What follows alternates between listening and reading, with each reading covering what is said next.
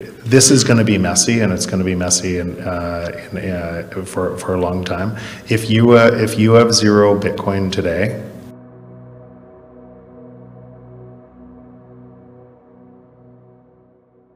Hello, everyone. Today, our guest is Jeff Booth. Jeff Booth is a hugely successful Canadian entrepreneur, thought leader, educator, and author who has taken a very keen interest in Bitcoin and has been an avid supporter of the digital asset.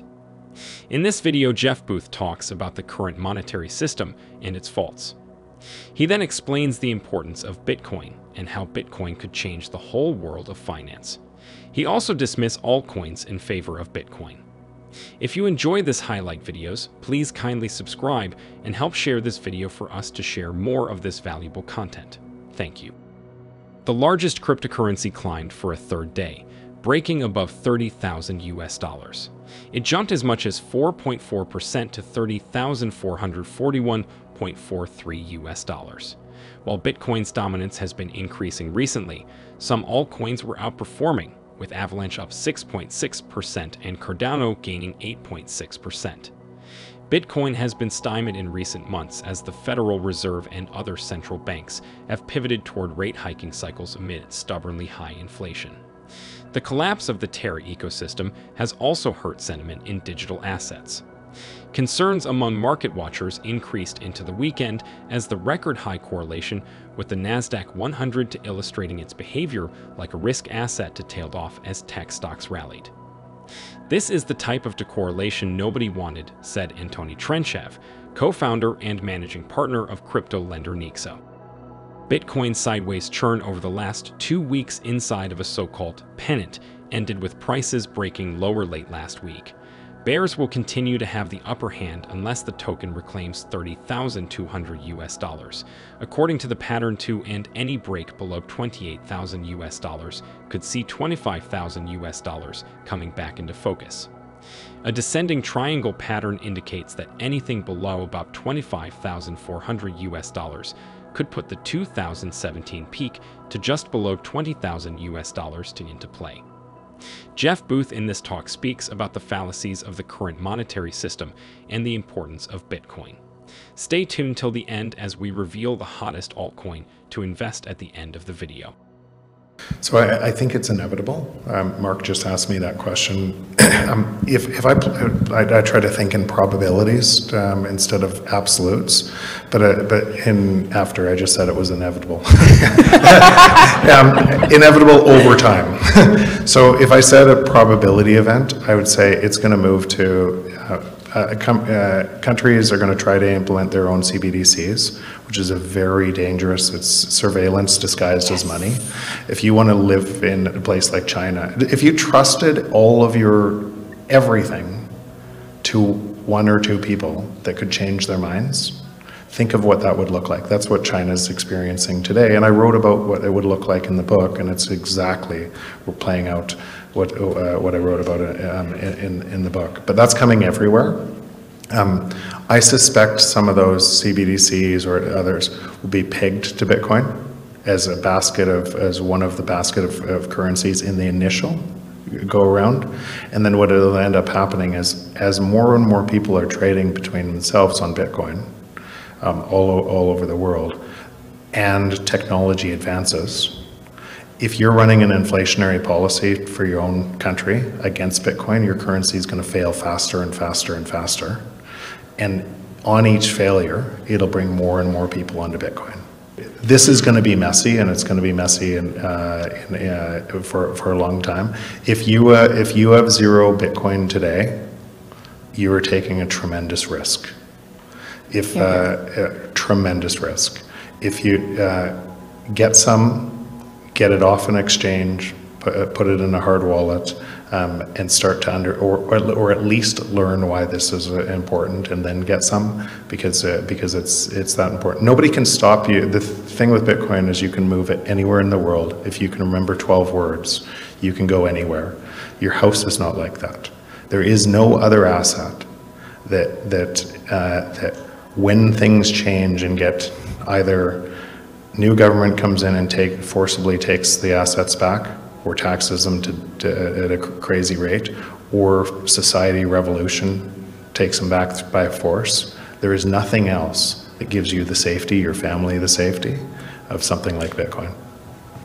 The Palm Pilot was almost the same as, as the iPhone seven years before, and nobody used it technology changed, and, and, and then iPhone came out, and, and I'm sure a lot of people in this room were using a BlackBerry and said, I'm never going to give up the buttons on my BlackBerry. and, and that's probably the most important point. We don't see these technology uh, uh, these technologies impacting us until they're before us and they impact us. And so when you're measuring Bitcoin and everything that's happening today, you're measuring, you're probably looking backwards at what you think it used to do through a whole bunch of bias instead of looking forward what it will do. And it's a pretty bit, and, and, and, and our world is just formed of ideas. And those ideas are moving faster and faster. And the best ideas win in the market. And then they expand on themselves. And we can and we all of a sudden wake up the next day, we could never see ourselves without an iPhone. When two years before that, we didn't know, know what that would look like. So it's just, it's a normal course for everybody. Uh, entrepreneurs, it's it, it's how it, it's how entrepreneurs, really great entrepreneurs, actually build great businesses because they forecast the change and they forecast what is possible with that change. Um, what Elon does is he charges you. He, he looks at an exponential curve he charges you for uh, for a car two years before you you buy it, and and he, at the time he charges you, he could have never delivered delivered it. By the time by the time he delivers it, the technology has enabled the delivery of that.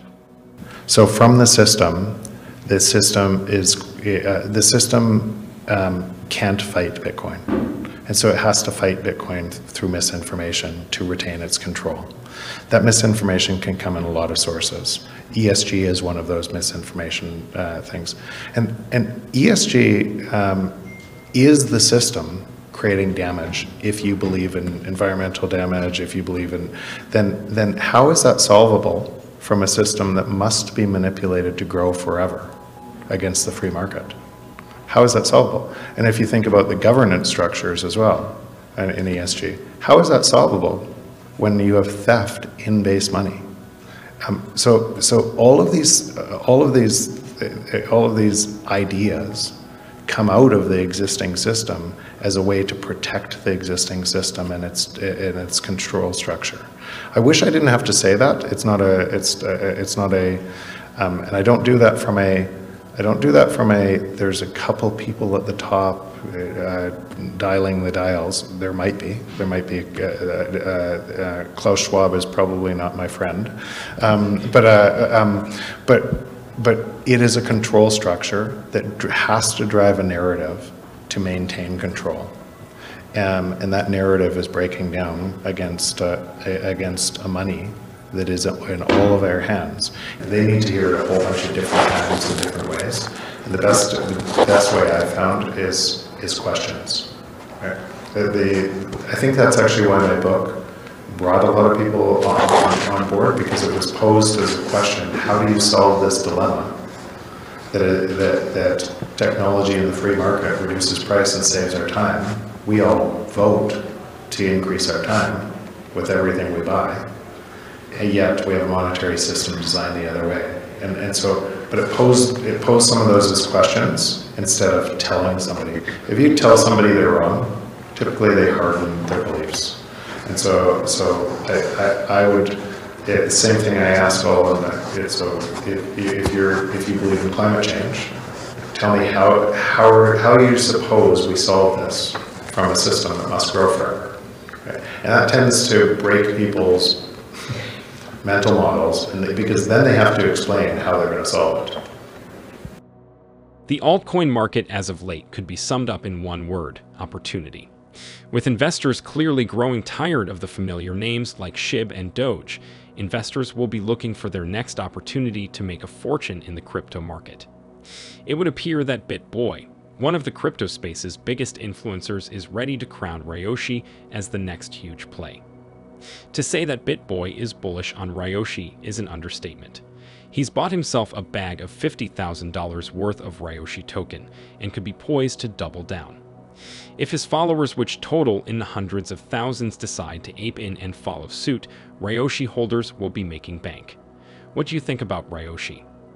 If you enjoy this highlight videos, please kindly subscribe and help share this video for us to share more of this valuable content. Thank you.